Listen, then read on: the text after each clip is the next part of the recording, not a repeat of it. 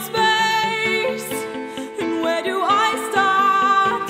The past and the change.